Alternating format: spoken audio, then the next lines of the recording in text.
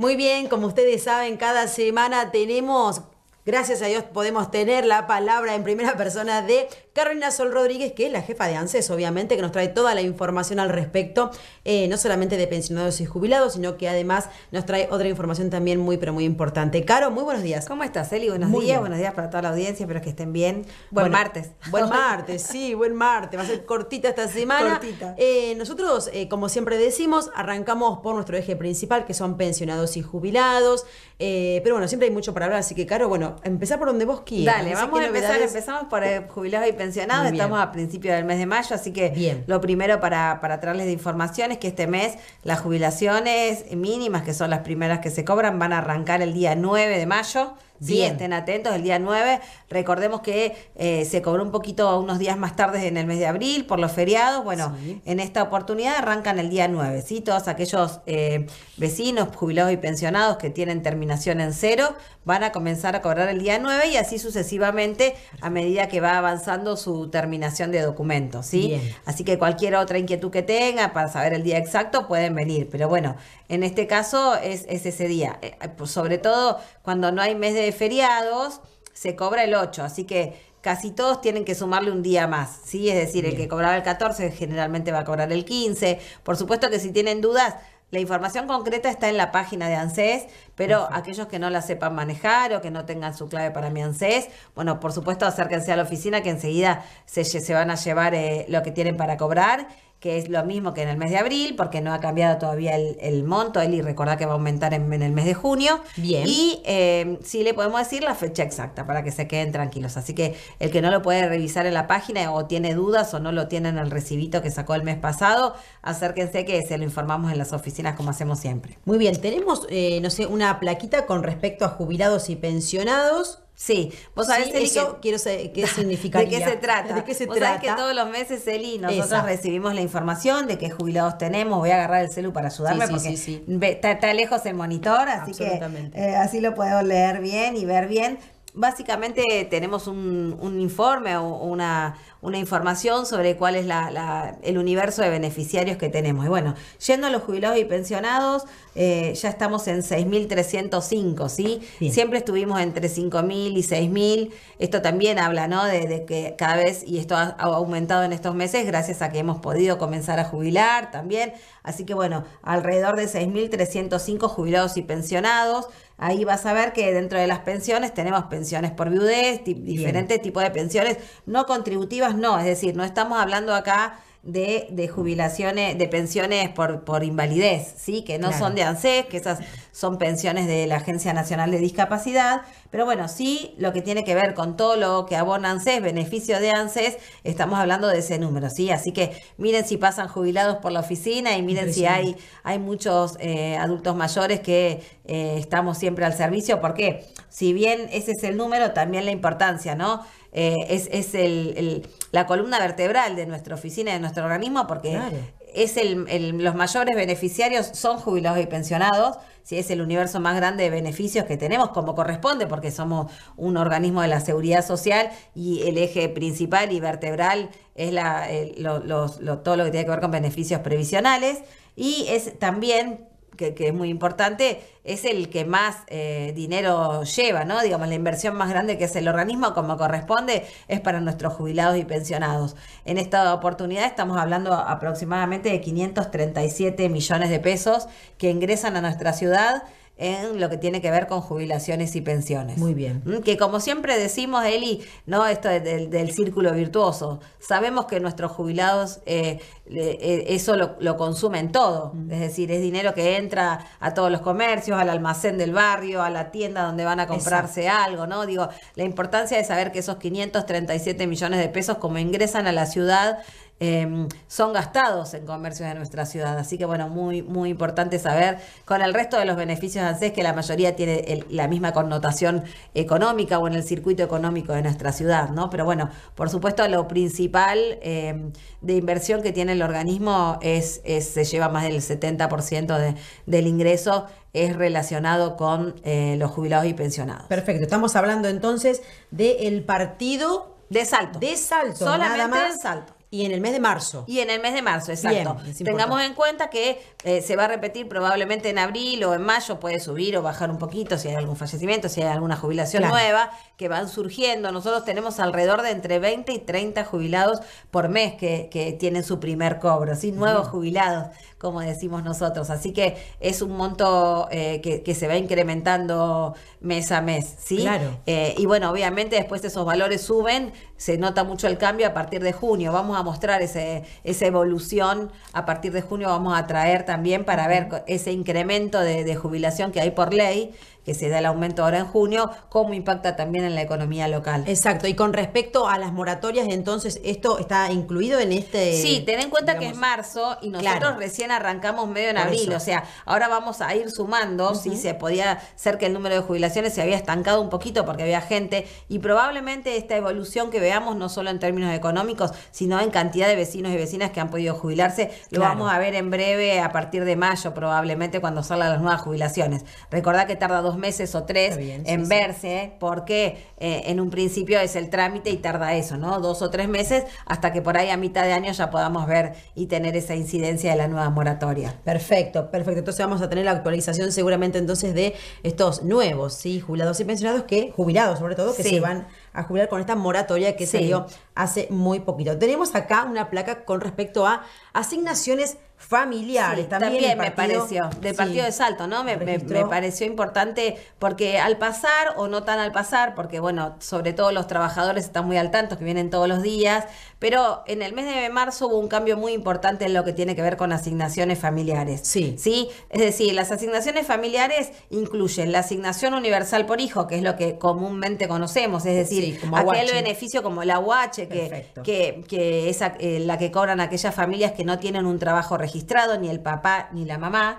¿sí? Pero se habla poco o a veces hubo mucho desconocimiento y yo hago mucho énfasis en, dar esta información sobre el, trabajador que cobra también el salario, ¿no? Claro. Es decir, si podemos ver esta placa y la, y la analizamos un poquito, podemos ver que en Salto tenemos 1.590 eh, familias titulares que cobran a, UH, ¿sí? Ahora, si miramos un poquito más abajo, en el tercer renglón, vamos a encontrar la asignación familiar por hijo. ¿Quiénes la cobran? Los trabajadores en blanco, ¿sí? Y vemos que ese valor, ¿sí? Duplica el de la asignación universal. Es decir, hay 3.050 titulares de asignación universal. Es decir, hay 3.050 trabajadores, 3.050 familias que sus hijos están cubiertos y tienen un salario en blanco. Perfecto. ¿Eh?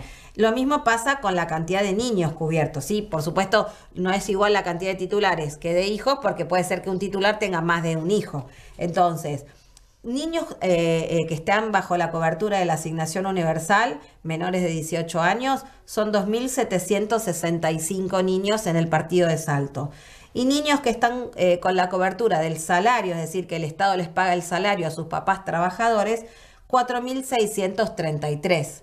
¿sí? Es mucho más lo que el Estado invierte en niños cuyos papás trabajan que en niños cuyos papás están, no sé si sin trabajo o, como siempre decimos también, puede ser con un número alto, como hay hoy en día en la Argentina todavía casi un 50% de trabajo en negro, ¿sí? informal, es muy probable que esos, esos papás trabajen pero no han podido todavía entrar al mercado formal, es decir, no tienen sus aportes realizados por sus, eh, empleadores. por sus empleadores, ¿no? Entonces, em, siempre decimos, lo primero que, que estuvo en, en, lo que tiene que ver con la seguridad social ¿A quiénes se le pagaron primero? ¿A qué hijos se le pagaron primero? Bueno, desde el año 1950, hace casi más de 70 años, que se le paga salario a los hijos de los trabajadores. ¿sí? Estos salarios que tienen estas diferencias son, eh, obviamente, seguramente el, mismo ente hace que se crucen datos y que eh, se le pague según el monto de lo que ganan. Por ejemplo, si trabajan los dos en la familia. Sí. Y dice, no, pero yo no estoy cobrando esta cantidad. ¿Qué pasa? Es, es la sumatoria de, en este caso, los dos sueldos. En el caso de que existan dos eh, ingresos. Mira, hasta 220 mil pesos de ingresos por grupo familiar, por grupo familiar, van a cobrar el máximo de asignación familiar de salario. ¿Cuál es el máximo hoy? 11.425. Y es idéntico para la asignación universal como para el salario en blanco. Bien. Es decir, el tope máximo que cobra una asignación universal es por ley es 11.425. Y una familia que gana para, para lo que es para nosotros la franja más baja, menos de 220 mil pesos, va a cobrar también 11.425 pesos por hijo. Lo mismo un monotributista. Un monotributista de las primeras categorías también se va a considerar que sus ingresos son menores a 220 mil pesos y su em, salario por hijo va a ser de 11.425, ¿sí? Es más, la asignación universal por hijo por meses menos. ¿Por qué? Porque se le descuenta un 20% todos los meses y recién al otro año, cuando ese esa mamá o ese papá acredita que el niño va a la escuela y tiene todos los controles de salud, recién ahí se le reintegra. En cambio, a los papás que tienen trabajo, no se les hace esa retención, se le paga el salario por ley entero, es decir, el 100%. Por supuesto, a medida que, como vos decís, Eli, el, los sueldos de los dos papás o de un papá va subiendo, va bajando la escala, ¿sí? ¿Hasta cuánto? Bueno, en el mes de abril fue 404 mil. Ahora, ¿qué se hizo? Durante mucho tiempo era ANSES quien tenía que ir actualizando los montos de salarios. Claro. Ahora se tomó la decisión, junto con el ministro de Economía, de atar ese tope de sueldo a eh, el tope de ganancias. ¿sí? ¿Eso qué quiere decir? Por ejemplo, en el mes de mayo el tope ah. de ganancias está en 506 mil pesos. ¿sí? Es decir, todos aquellos trabajadores que cobren menos de 506 mil no van a tener retención de ganancias. ¿sí? Claro. Ahora, lo mismo sucede con los salarios. Todos aquellos trabajadores que estén por debajo de 506 mil pesos van a poder cobrar el grupo familiar, por supuesto, ¿no? Si la suma de los dos o un solo trabajador van a poder cobrar salario. El que cobra 500 mil, ¿va a cobrar los 11 mil pesos? No. No, va a cobrar menos. Va a cobrar menos, la escala más baja, porque por supuesto esto es progresivo, ¿sí? Pero bueno, ¿qué es lo, qué es lo que se busca con el salario? Bueno, que también en lo que tiene que ver con el trabajo en blanco, que aquellos trabajadores que tienen una carga de familia sean tomados por, por el por el, por el empleador, ¿no? Y que se iguale un poco a aquellos que, que, no tienen carga de familia, porque históricamente antes era el empleador el que tenía que pagar más si había carga de familia. Bueno, ahora lo que se hace es directamente que se trate de equiparar y que no sea el empleador el que tenga que pagar más por una familia, un, un trabajador que tiene familiar a cargo, sino que sea el Estado y que iguale un poco también, ¿no? En la competencia laboral que cualquier trabajador tenga o no tenga trabajo, eh, tenga o no tenga carga de familia, pueda ser el mismo, eh, eh, le implique lo mismo de gasto al empleador y los pueda tomar y estén en igualdad de condiciones a la hora de tener que acceder a un puesto de trabajo. Podríamos decir entonces que los empleadores no tienen, no podrían quejarse en ese, en ese aspecto, por lo menos. Por lo menos en ese aspecto. No, por eso también me parece importante, ¿no? El origen de por es qué surgen. Por eso digo. A mí, a mí me gusta saber, ¿no? Desde, desde que estoy eh, responsable, bueno, siempre me gusta saber eso. Lógico. No, me gusta hablar con argumentos y demás y saber, ¿no? La historia de por qué surge la asignación. Primero el salario, que es lo más importante, ¿no? Me parece que eh, esto de equiparar la, la, posibilidad de acceder a un trabajo fue el objetivo principal que se tuvo cuando se hizo. Y después la asignación universal, ¿no? Tan comentada o con tan, tanta mala prensa, digo yo muchas veces, eh, que lo que hizo fue ni más ni menos que equiparar a esos niños, hijos de trabajadores que tenían acceso al salario y que ya el Estado les pagaba, y aquellos que sus papás tenían trabajos informales o eventualmente no tenían un trabajo, ¿por qué esos niños no cobraban si los hijos de trabajadores sí cobraban? Entonces lo que viene a ser la asignación universal es ¿no? una cuestión de equidad, de poner a todos los niños en igualdad de condiciones. No es al revés, no es que los niños de los trabajadores tienen menos derechos que los niños de aquellos papás que eventualmente no están trabajando o están trabajando en negro. Y recalco esto, recalco esto, porque muchas veces lo que sucede es que em, quienes nos quejamos o, se quejan, no es mi caso porque he estudiado y por eso no me quejo,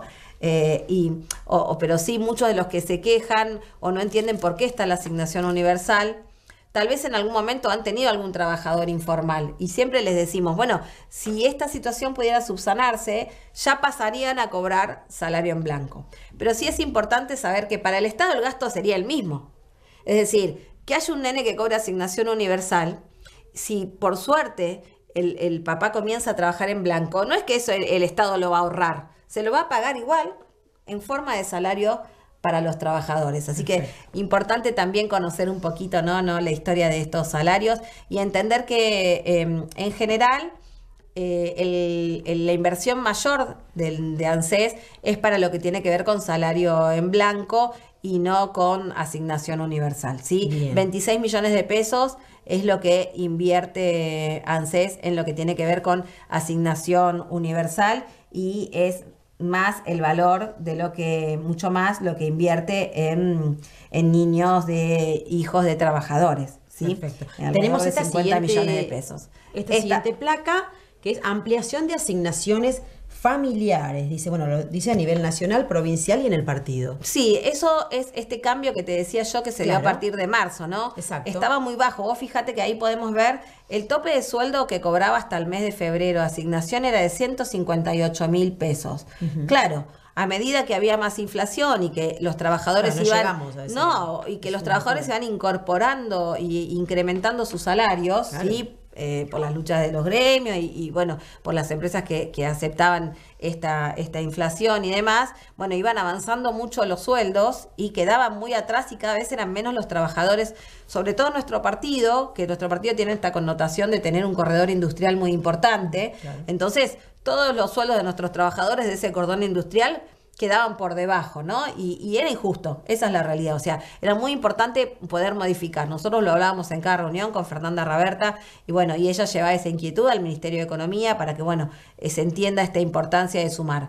Cuando pueden hacer ese cambio y atar ese, ese aumento y pasarlo de 158 mil a 404 mil, que era el tope de ganancias, mira cómo sube, ¿no? Hay 840 familias más que cobran eh, comienzan a cobrar en nuestro partido solamente, ¿no? Estamos, vemos los números nacionales muy altos, pero bueno, a mí me gusta ir siempre a nuestra localidad y cómo incide en nuestros vecinos y vecinas, ¿no? 814 trabajadores, familias trabajadoras, comenzaron a recibir de ANSES el, el salario por sus hijos. 1.253 niños eh, de Salto comenzaron también a recibir del Estado este salario por hijo. Así que muy importante fue este cambio, lo ves en estos números, Eli, ¿sí? porque tenemos 4.600 niños que hoy cobran salario, 1.200, casi el 25%, se incorpora recién en el mes de abril. Así que fue un cambio muy importante y me parecía que en esta semana del Día del Trabajador era importante también ver cómo el Estado acompaña ¿no? a los trabajadores en un momento muy difícil. Eli, digo, también el organismo tomó la decisión ante mm, la, inflación y, cómo se va perdiendo el poder adquisitivo de, de los trabajadores, tomó la decisión de acompañar a esos trabajadores y decir, bueno, no, necesitamos reforzar, sí, por supuesto, a, los ingresos más bajos y al trabajo informal, pero hoy como un poco hablábamos ayer también, tuvimos una reunión, vos estuviste en, este caso en el Partido Justicialista, pero la importancia de que hoy quienes están sufriendo las consecuencias de la situación económica son los trabajadores, no es solamente el que no tiene trabajo. Hoy eh, muchos trabajadores están, digamos, no llegando a, la línea de pobreza y, son pobres. Entonces, también la decisión de este organismo, de quien encabeza este organismo, en este caso Fernanda Raberta y de todos quienes estamos a cargo de los organismos, de plantear cómo eh, acompañar a los trabajadores. Y por eso la importancia de esta medida de subir el tope y de que muchos trabajadores comiencen a cobrar. bueno, y esa es la placa como medianamente el resumen. El resumen. ¿no? El resumen de qué es lo que ingresa a nuestra ciudad. Esto es el mes de marzo. Probablemente cuando traigamos eh, eh, la evolución vamos a ver que este valor sube. 713 millones de pesos es lo que ingresa a nuestra ciudad.